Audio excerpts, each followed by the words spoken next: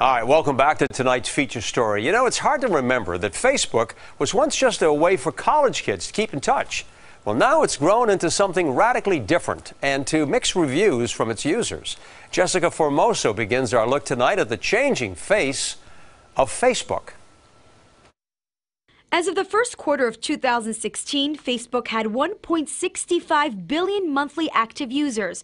People use Facebook to stay connected with friends and family and also to keep up with what's going on in the world. Everything's on Facebook, and Facebook is really um, has made a concerted effort to keep people there by providing a lot more information beyond their personal stuff. Lance Ulanoff, chief correspondent for Mashable, says Facebook wants to have your world in one place. That's because it's valuable for them to keep people there all the time. Increasingly, people are learning about news events on Facebook, and that's something they've worked really hard on. And in fact, they're looking at changing our what we call our news feed, which is often filled with our friends' stuff, with more news making Facebook much more than just a social media network and more of a life network. Now on your newsfeed, you have live and 360 degree virtual reality videos, as well as news. Facebook has all these algorithms to, to decide what to show you, and it really depends on your own engagement with the material. What do you click on? What do you put reactions in? What used to just be likes, and now you can do a whole range of reactions. And soon, Ulanoff says you will see a news ticker. So instead of just getting the news that's defined by you, you also get some news that's defined by the editors of Facebook who say, well, this is what's really happening in the world. So in addition to your news feed, this is the other stuff that's important. Is there room for this new Facebook to be what it used to be, a place where you chat with friends and family? Experts say Facebook is constantly changing. Just to be go back to just being a fun place for social interaction. I mean, I think, I think you can still get that. Um, it's definitely still in there. It's still the majority of what's happening. It's just that right now everybody's talking about all the news and all the live video.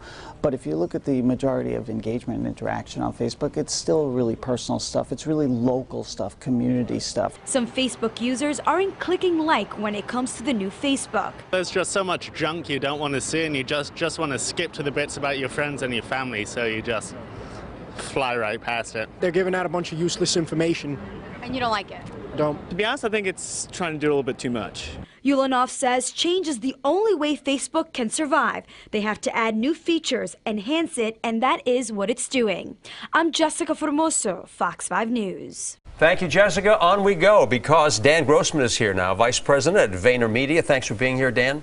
Uh, Thanks for having me. Look at all the changes. You follow this all the time. I mean, from what we're seeing, is this is this a good thing or what? How do you view it?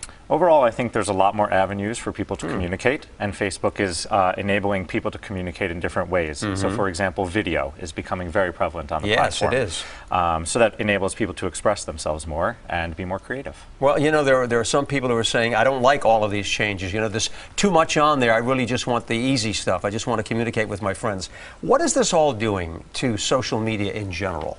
Um, so overall, social media across the board usage is way up. Hmm. So Snapchat takes 25 minutes average per user per day.